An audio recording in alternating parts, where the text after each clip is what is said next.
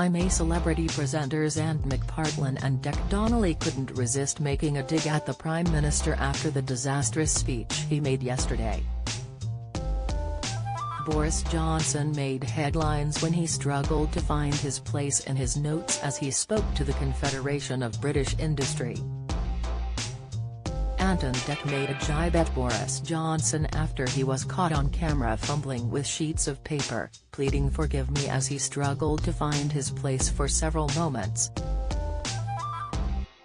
During last night's I'm a Celeb, Dec began talking about the Victoria sponge cake that the blue team had managed to win for their camp. As they ate their well-deserved treat, he described it as a galaxy of formidable flavors, to which Ant asked, where did we get it? Dec replied, I've got it written down somewhere, before pretending to faff around with his own sheets of paper and impersonating the Prime Minister's voice, whilst telling viewers, ooh, er, forgive me.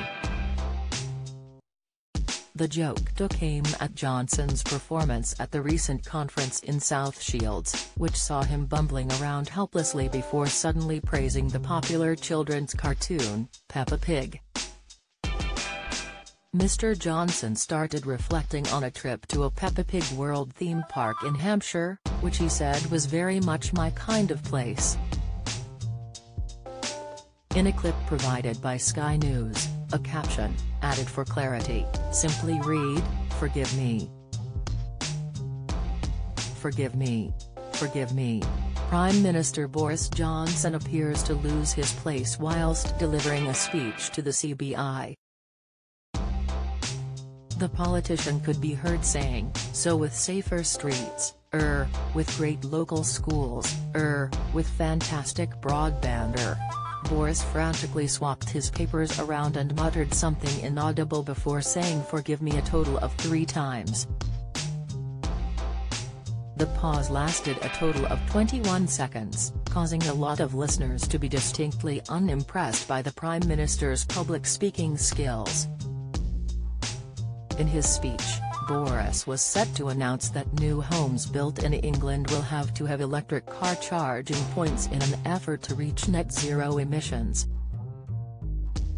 Mr. Johnson had confused business leaders at the conference even further, as he went on to tell them how he loved Peppa Pig World despite the cartoon character resembling a Picasso-like hairdryer.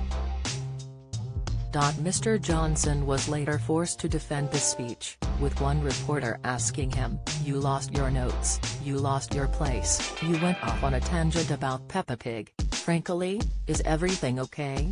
In response, the Prime Minister insisted, I thought it went over well.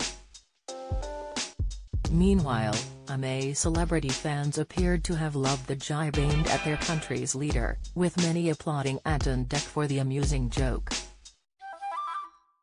Love it Ant and Dec taking the mick out of Boris, Stephen Blake wrote with two cry laughing emojis.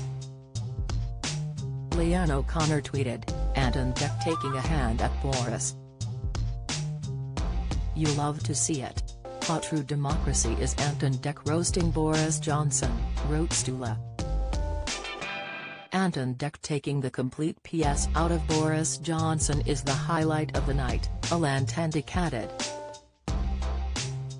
I'm a celebrity. Get me out of here. Continues tonight at 9 p.m. on ITV.